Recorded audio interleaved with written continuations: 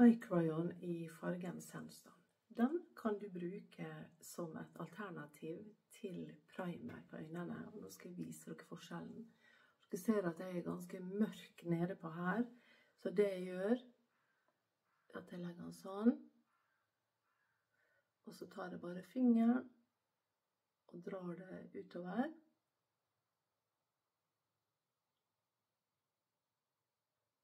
Og sånn som hvis du er litt mørk inni øyekroken også, så kan du legge litt der. Så bare bruke et godt speil, sånn at du ser om det du har fått jevnt utover. Nå skal jeg nettopp gå og sjekke det. Snart tilbake. Det så greit ut i speilet mitt også. Så ser dere forskjellen nå. Her. At jeg har lysna, og det gjør jo at man får et mer åpent. Så Sandstone Eye Crayon heter den. Det som jeg skal vise nå, det er litt sånn basisøyenskygger. Jeg skal ta det bare på det øyet der. Dette her er en som jeg liker veldig godt. Den heter Triple Cognac, og dere ser at den har en farge som er ganske lik Allure her. Og så er det to brune farger. Og det som jeg gjør da, det er at jeg legger den lyseste fargen nede på lokket her den har litt skimmer i seg. Men jeg har jo sagt at man skal være litt forsiktig med skimmer som ei voksen dame. Men det handler mer om skimmer her oppe, der man kanskje har litt eh, linje, som jeg har. Så der er det veldig lurt å bruke matte farger, fordi at det, da får du det rette fokuset. Det jeg skal gjøre nå, det er at jeg skal ta den mørkeste brune her. De er jo ikke spesielt mørke, noen av dem. Og så er det veldig viktig å bruke en god kost. Denne her heter Crease Brush, og den hjelper til når du skal legge øyenskyggen. Her er globallinja. Og da når du har en god kost, så kan du dra den litt ned her. Når du har en god kost, så får du til å blende fargen.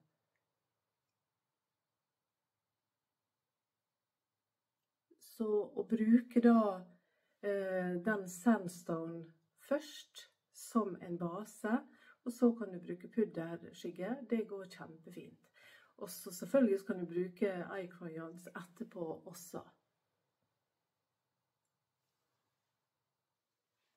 Jeg måtte bare bort til speilet mitt og sjekke. Jeg har fått så dårlig syn, vet dere. Det som er litt viktig når du legger øyenskyggen, det er at du skal passe på å komme litt over det beinet her.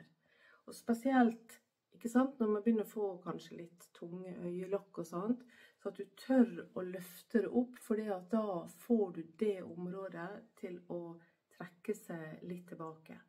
Hvis du legger den mørke øyenskyggen overalt, mørkt forminsker, mens det lyse åpner opp. Så det å ha lyst her og her, det åpner opp, og så får du skapt litt dybde også her. Det jeg skal gjøre nå, det er at jeg skal ta på Mystical eyeliner. Den liker jeg veldig godt å ha på. Da tar jeg den bare oppe og ikke nede, men jeg kommer tilbake når den er på. Ser dere at nå er eyelineren på oppe. Hvis jeg hadde lagt eyelineren nede, så hadde øynene blitt mindre, for det mørke forminska. Og så får man fokuset på området under øynene som man da kanskje ikke har så veldig lyst til å ha fokuset på. Nå er jeg snart tilbake. igjen. Nå har jeg tatt på Pure Lash Extender. Og så har jeg tatt på den maskaraen her fra Jane Ardell. Jeg har en liten pause fra Emani-maskaraen som har serum i seg.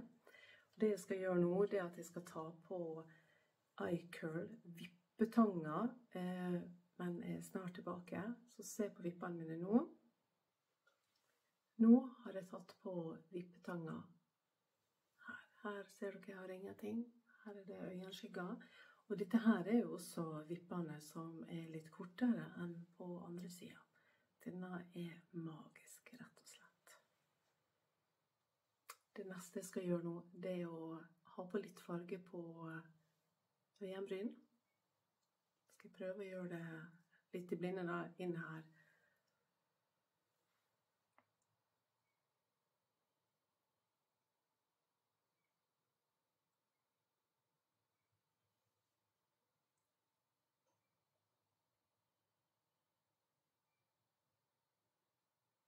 kommer snart tilbake. Jeg tror jeg må bort til speilet mitt.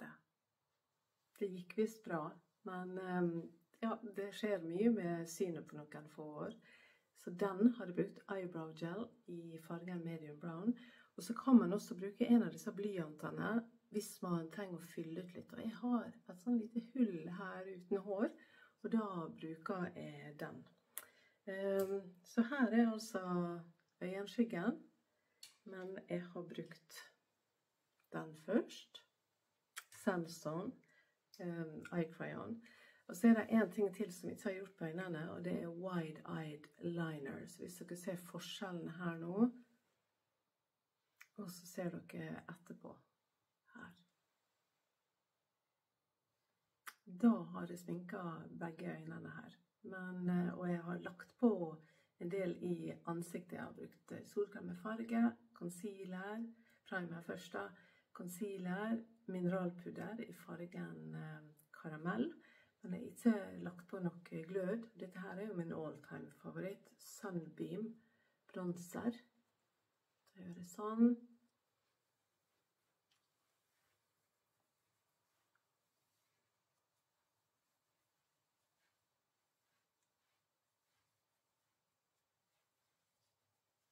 Der.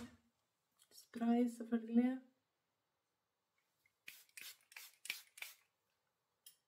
Og så eh, beach plum på leppene.